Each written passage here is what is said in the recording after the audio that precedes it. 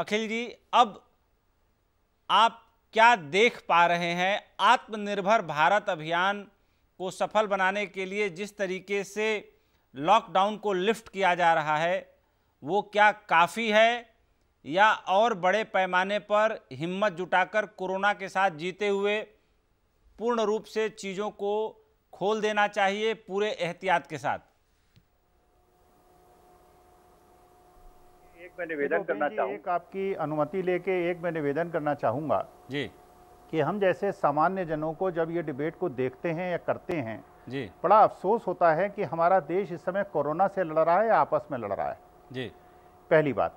दूसरी बात जो अर्थव्यवस्था का पहिया देखिए वास्तविकता में ये चीज़ समझनी बहुत आवश्यक है और विश्व ने इसको समझ लिया था कि जान और जहान जो है ये म्यूचुअली एक्सक्लूसिव नहीं है। और भारत जैसे देश में भारत जैसे देश में जहाँ बहुत ज़्यादा गरीबी है बहुत ज़्यादा हमारे जो श्रमिक हैं मेहनती श्रमिक हैं और उनकी जो परिस्थितियाँ हैं जो शहनवाज जी ने कहा वास्तविकता में इसका माने सरकार को और विपक्ष को ये पता है कि हमारे देश की परिस्थितियाँ क्या हैं। पूरे विश्व ने अगर पूरे देश को लॉकडाउन नहीं किया उन्होंने ये मानते हुए कि जान के साथ जहान भी आवश्यक है। देखिए वास्तविकता में अर्थव्यवस्थाएँ जब आपस में संघर्ष करेंगी जो धीमे पड़ जाएँगी उनको परेशानी होगी जो अपने पैरों पे खड़ी रहेंगी वो संघर्ष करती रहेंगी। तो एक तो ये देर हुई कि हमने अर्थव्यवस्था को थोड़ा पिछड़ने दिया दूसरे विश्व के एक प्रतिकूल माध्यम से उसको पिछड़ने दिया। अब जैसे आज एविएशन इंडस्ट्री पे जो माननीय मंत्री जी का उद्घोट हुआ है जो उन्होंने कहा है उस पर मैं एक निवेदन करना चाहता हूँ। देखिए तीन पक्ष हैं।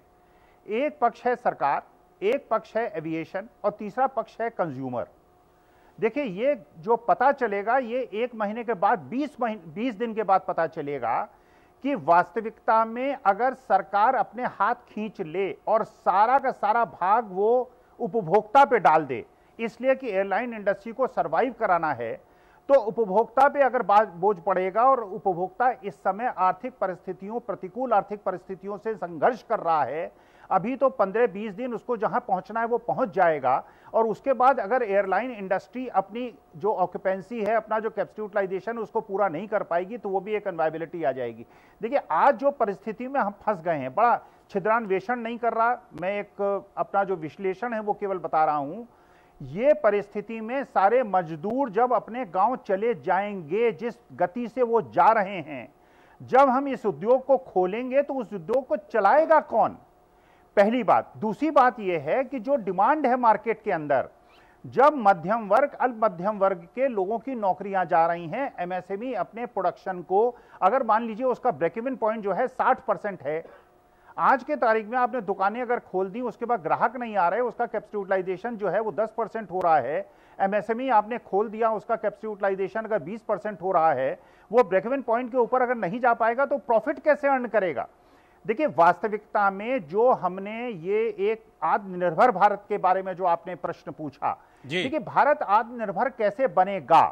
आत्मनिर्भर बनेगा जब हमारे यहाँ प्रोडक्शन जो है वो भरपूर ढंग से होगा।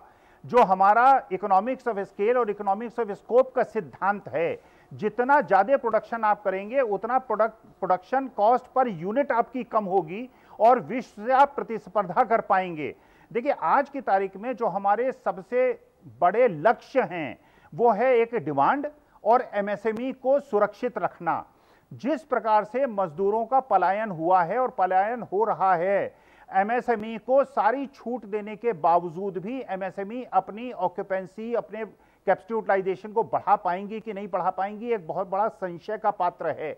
दूसरा, अगर आप लोगों के हाथ में पैसा नहीं देंगे, अगर जो लोग दो तीन महीने से जिन्हें तनख्वाहें नहीं मिली हैं, जिनके रोज़गार छूट गए हैं, अगर वो चीज़ परचेज मार्केट के अंदर नहीं करेंगे तो ये एमएसएमई प्रोडक्शन कैसे करेंगी?